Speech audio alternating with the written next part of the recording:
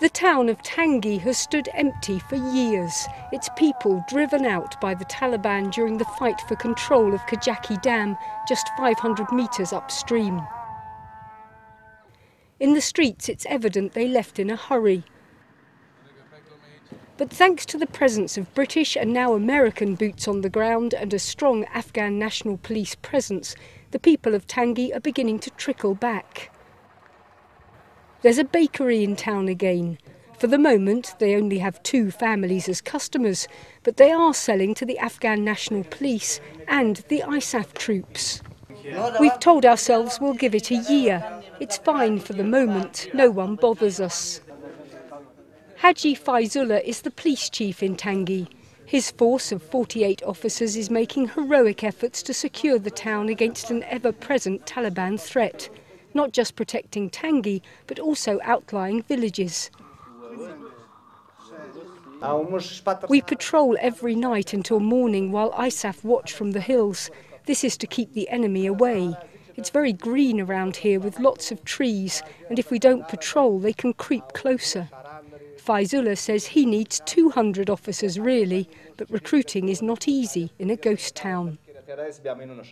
One man who's come back to join the fight to protect Tangye had a tailoring shop in the bazaar until five years ago.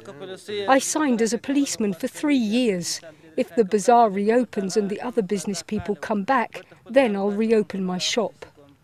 Others have followed his lead.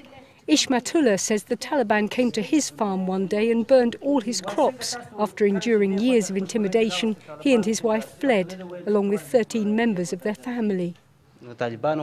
We came quietly in the night. The Taliban didn't know we were leaving. He's now waiting to go to police training college in Lashkargah so he can officially be registered as a member of the ANP. Abdul Sattar has also sought refuge in Tangye with his wife and children. He too will go to train in Lashkargah. It is a dangerous job. Recent attacks cost the ANP both men and vehicles. But they're holding the line, and the police officers here insist they have to do it. We put ourselves in danger because of our country, because of our families, and because of our location. They're very professional, very uh, proactive. Um, a lot of the time they don't ask for the ISAF support, they just go out themselves and they patrol. You see them uh, on, on um, early hours in the morning patrolling regularly through uh, the, the towns Tangye and Kanzi and Eski. Um, they don't, they, they're not told to go on any patrol programme, they just do it. The Chief of Police is quite proactive in pushing them out as far as he can get them safely. ISAF troops can walk the streets safely now.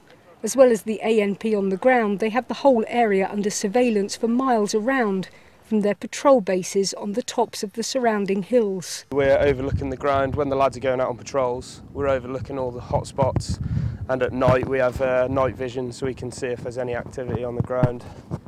In recent weeks, it's been British and American Marines side by side as they prepared to hand over responsibility for the area, allowing the British to reinforce troop numbers in Sangin.